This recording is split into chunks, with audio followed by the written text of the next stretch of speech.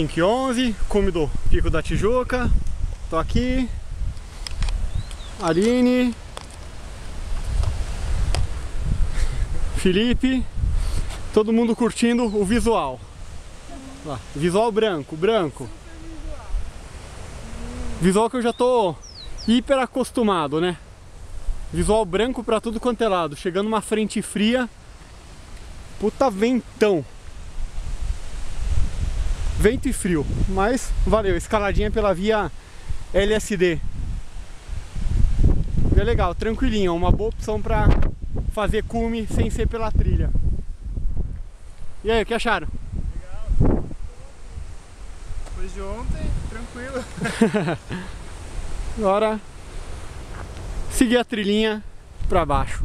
Daqui a pouco a gente tá no carro. Vamos ver se hoje tomo uma Erdinger.